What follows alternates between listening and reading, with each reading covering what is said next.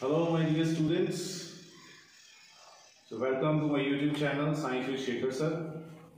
So, today I am going to show you a very important and very interesting phenomena of light.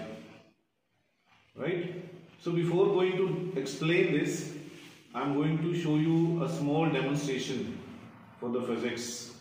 So, physics is study of nature and its law and physics is an interesting subject कोई भी activity अगर आप करना चाहो physics के अंदर तो you can any time contact me for any class from six to twelve and related to chemistry so in science we are doing lots of activities in class 10 even from class 7 we study the chapter light. Class 7 then class 8 then class 10 and then class 12 और उस light chapter के अंदर आपने reflection भी पढ़ा है reflection भी पढ़ा है।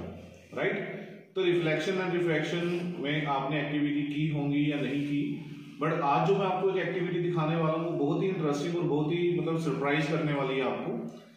तो इसके अंदर क्या है कि simple glass full of water I am taking right और ये मेरे पास एक पेपर है जिसपे मैंने एरो लगाए हैं। You can watch that arrow ये एरो किस तरफ़ है? इनकी डायरेक्शन यू कैन जज फ्रॉम योर मोबाइल स्क्रीन इसकी डायरेक्शन है जो मेरे लेफ़्ट से राइट की तरफ़ है।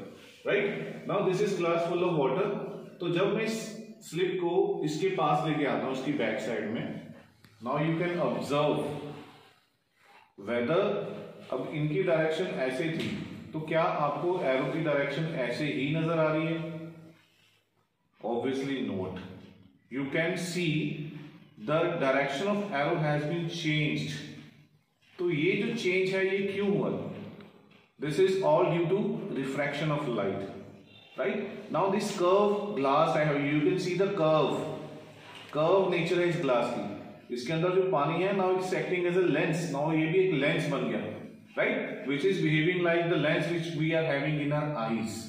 So एक ही स्लिप है आप देखिए कि डायरेक्शन इस तरफ़ है मुझे यहाँ से लेफ़्ट से राइट दिख रही है और आप लोगों को उस तरफ़ राइट से लेफ़्ट दिख रही है right so this is all the miracles of science and especially in physics we have a lot of concepts and would be coming with more videos with very simple and interesting activities for you all. Thank you so much.